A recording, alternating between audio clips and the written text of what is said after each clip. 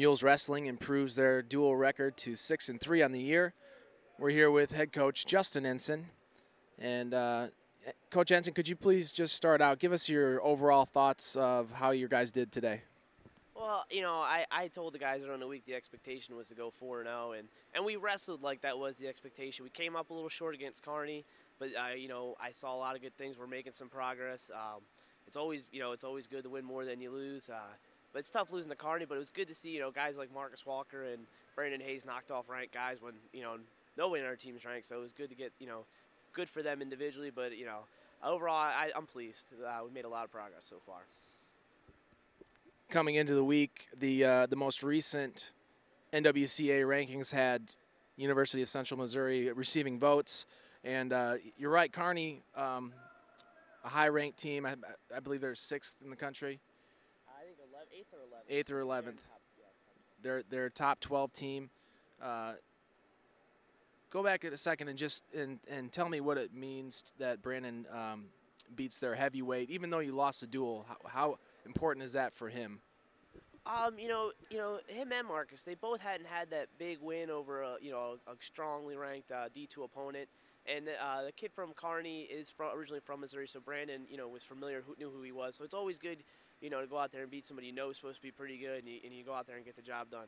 And recently, he lost two matches on that in that ride out situation, so it was good to be on the you know the, the plus side of that instead of losing by riding time in the in the overtime situation. It's good to win that there for once. So, but yeah, it's definitely you know saw a lot of good things even though we lost that duel.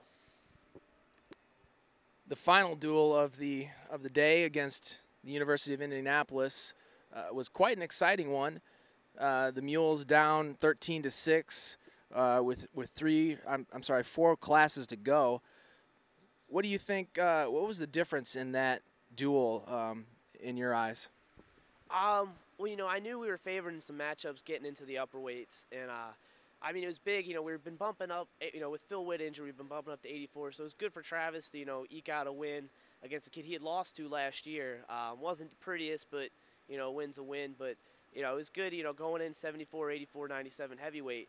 Uh, we were a little favored, but it was good to go out there and get the job done, especially with, you know, Brandon getting out, going out and getting the fall to, you know, put the icing on the cake to win it for us. So, yeah, those were definitely some matchups. And, you know, I, I thought we had a chance to win every bout, and it didn't really go our way. We gave up kind of a surprise fall at 49, and, uh, you know, uh, Scott Newman pulled out a last-second takedown to win at 57 against a pretty tough opponent.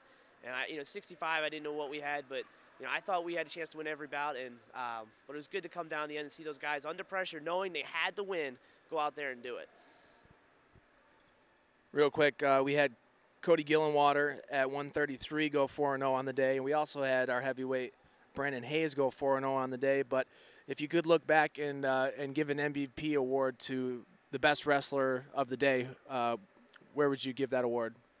Oh, I guess you got to go to Brandon uh, Hayes. He uh, you know, two of the two of the three duels we won that, that came down to him, and uh, and he got the job done. You know, you know, you want your you want that being a heavyweight. You know, all the pressure's riding on you, and he goes out there, calm, cool, collective, wrestles his match and gets the win. And you know, of course, he had a pin against Ouachita, and he knocked off a ranked guy against in our loss against Kearney. Um, you know, pluses though, you know, Cody Gillenwater had, had been going through some rough stretches, and it was good to see him get back on track, get his confidence back because we've been telling him all along he's one of the best kids in the nation. He's been right there, but he had a little rough patch, and I think it's good to see him get through it. Uh, Marcus was huge to beat, uh, you know, a rank, beat probably the first ranked kid he's ever beat at 141. And uh, but yeah, overall, I think, like I said, I'm pleased overall at the effort. But yeah, definitely looking strong at Brandon Hayes with his performance.